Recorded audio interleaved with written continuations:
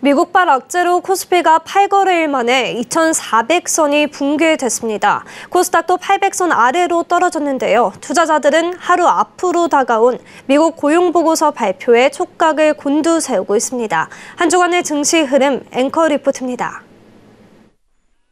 미국발 금융 리스크에 코스피가 1.01% 하락한 2,394.59포인트의 장을 마쳤습니다.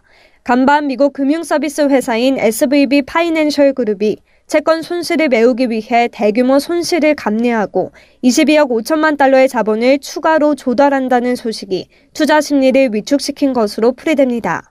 앞서 현지 시간 8일 가상화폐 거래은행인 실버게이트도 은행 부분의 영업을 청산하겠다고 전한 바 있어 금융 시스템 리스크에 대한 우려가 한층 커졌습니다.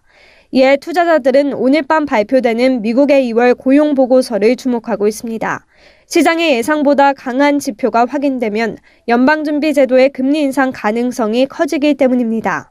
코스피는 한 주간 2.76% 내린 2394.59포인트에 코스닥은 3.42% 하락한 788.60포인트의 거래를 마쳤습니다.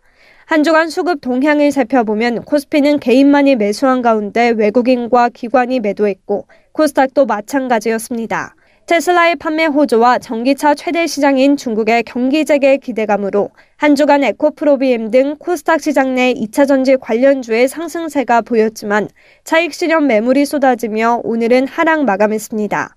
증권가에선 고용지표 발표 영향이 다음 주까지 이어질 것이라고 내다보며 강하게 반등하는 모습은 보기 힘들 것이라고 조언합니다.